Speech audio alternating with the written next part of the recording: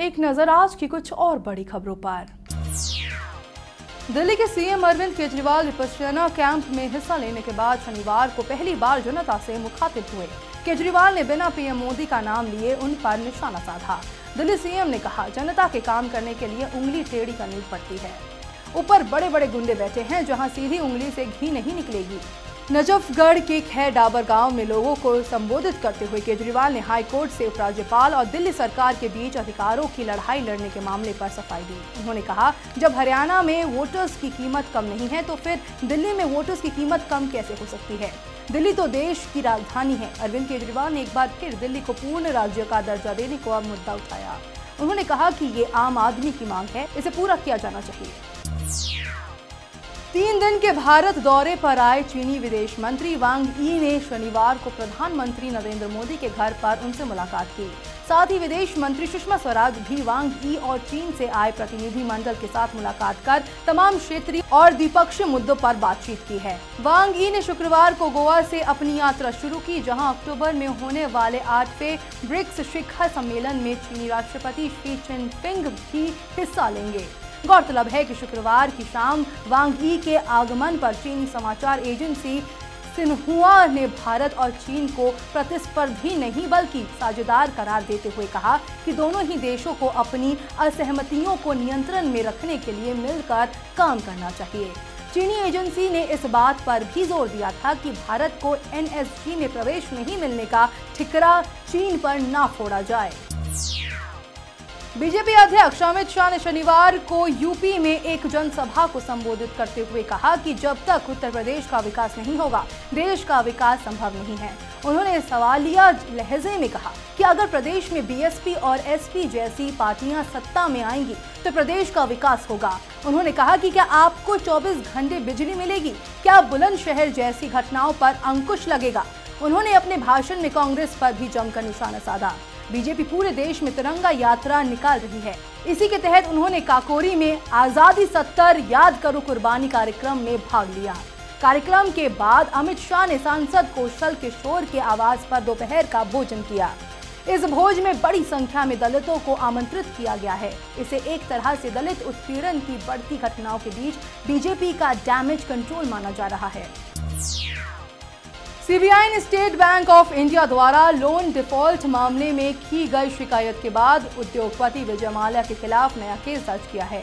CBI के एक अधिकारी ने बताया हमने एसबीआई की शिकायत पर विजय माल्या के खिलाफ एक केस दर्ज किया है। उल्लेखनीय है कि 9,431 करोड़ के लोन की रिकवरी के लिए बैंकों द्वारा सुप्रीम कोर्ट का दरवाज़ा खटखटाए जाने के बाद विजय माल्या बीते 2 मार्च को देश छोड़कर लंदन के लिए रवाना हो गए थे। राष्ट्रपति की बेटी शर्मिष्ठा मुखर्जी को फेसबुक अकाउंट पर अश्लील मैसेज भेजा गया है। शर्मिष्ठा ने खुद उस शख्स का न सिर्फ़ नाम, बल्कि प्रोफ़ाइल फ़ोटो के साथ उस मैसेज के स्क्रीनशॉट को फेसबुक पर शेयर किया है। उन्होंने हिम्मत दिखाते हुए ये भी लिखा है कि मैं चाहती तो अश्लील भेजने वाले को सिर्फ़ ब्लॉक कर चुप बैठ जाती।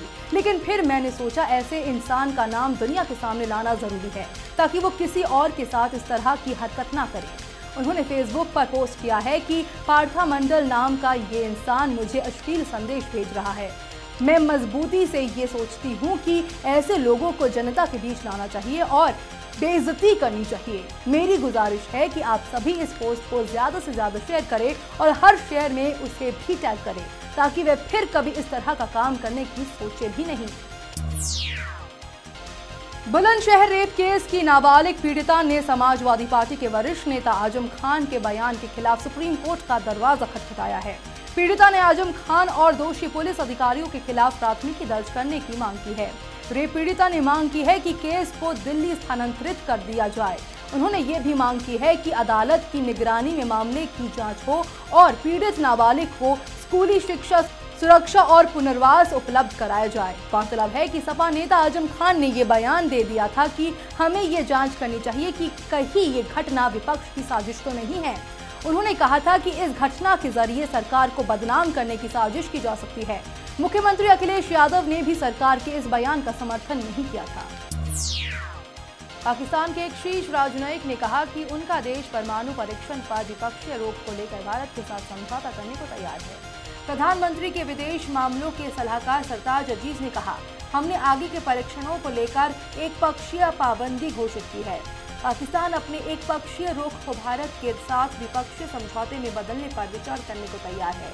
पिछले सप्ताह हुए राजदूतों के सम्मेलन के बारे में मीडिया को बताते हुए अज़ीज़ ने कहा कि बैठक में ये बात सामने आई कि पाकिस्तान निरंतर रूप से सीटीबीटी का समर्थन करता रहा है और वर्ष उन्नीस सौ छियानवे में संयुक्त राष्ट्र महासभा द्वारा इसे स्वीकार किए जाने के वक्त भी इसके पक्ष में मत दिया था।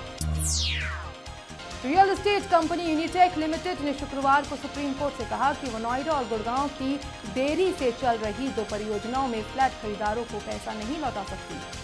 यूनिटेक की ओर से पेश वरिष्ठ अधिवक्ता अभिषेक मनु सिंघवी ने न्यायमूर्ति दीपक मिश्रा तथा न्यायमूर्ति यू यू ललित की पीठ के समक्ष कहा, हमारे पास पैसा नहीं है। यदि हमारे पास पैसा होता तो हम फ्लैट और बिल्डिंग बनाकर उन्हें दे देते।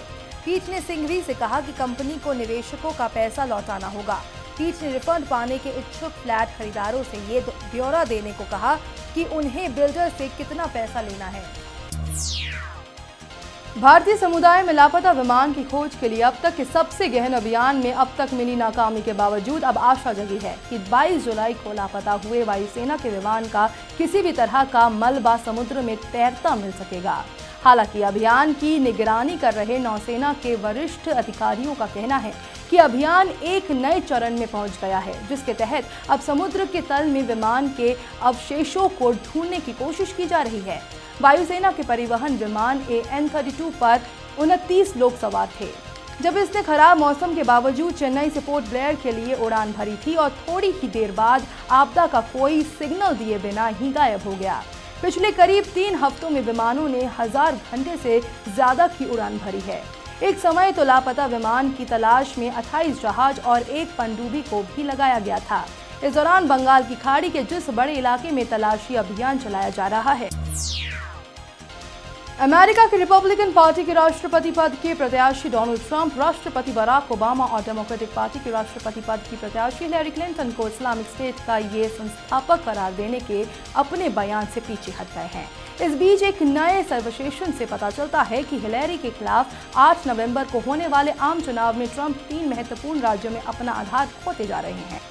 वॉल स्ट्रीट जर्नल और एनबीसी के जारी सर्वेक्षण के मुताबिक निर्णायक राज्यों में ट्रंप का समर्थन घटता जा रहा है।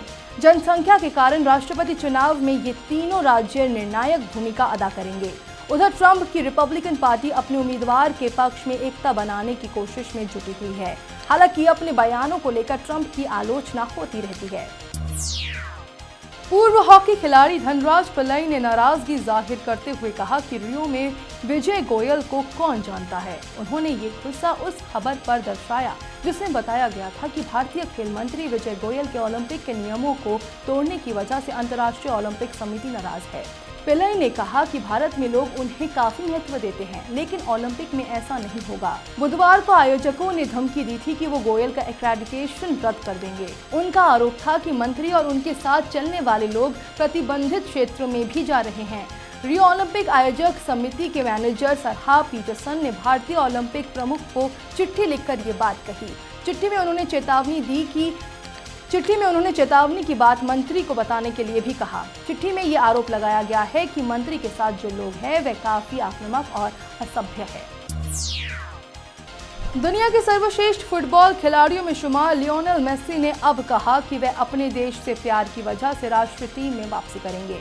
पिछले दिनों बेहद प्रतिष्ठित कोपा अमेरिका टूर्नामेंट के फाइनल में खराब प्रदर्शन के बाद उन्होंने अपने देश अंतर्राष्ट्रीय फुटबॉल से संन्यास की घोषणा की थी। इस दिग्गज फुटबॉल खिलाड़ी की प्रबंधन कंपनी की ओर से शुक्रवार को एक बयान जारी किया गया है। इसमें मेसी ने कहा, मैंने संन्यास के बारे में गंभीरता से सोचा, लेकिन अपने देश और इस जर्सी के लिए मेरा प्यार बहुत ज़्यादा है।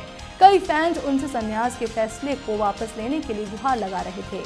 अर्जेंटीना के राष्ट्रपति मोरेसिया मेक्रीक और मेसी के आइडल डियोगो मेराडोना ने भी उनसे अपने फैसले पर दोबारा विचार करने की गुजारिश की थी। इस न्यूज़ बुलेटिन में फ़िलहाल इतना ही। ताज़ा तरीन खबरों को जानने के लिए जुड़े रही मेट्रो टीवी से। नमस्कार।